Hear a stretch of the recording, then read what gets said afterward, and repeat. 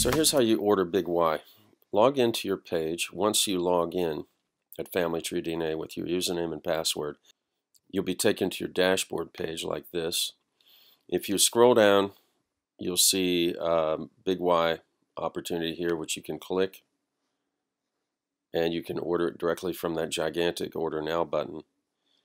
If for some reason this thing is not showing up on the left, and FTDNA has not made this easy from time to time to find the Big Y order, then try the upgrade button in the upper right.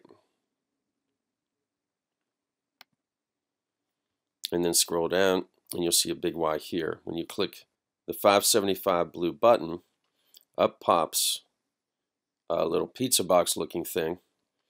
And we have big Y appears automatically. If it doesn't, just click this and it will appear in your box. Hit proceed to checkout. Fill out the billing information, send it in, and your big Y will be underway. If you already have a Y DNA mail test, you don't have to do another sample. As usual, get in touch with the project admins if you have any question, and we'll walk you through the process.